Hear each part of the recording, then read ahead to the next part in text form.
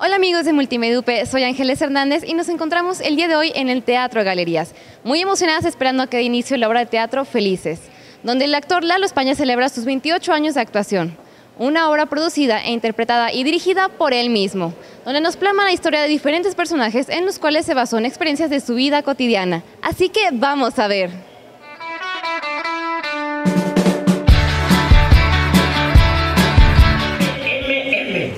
Fundada por mi abuelo, Don, que significa de origen noble, Don Manuel Medina Méndez I,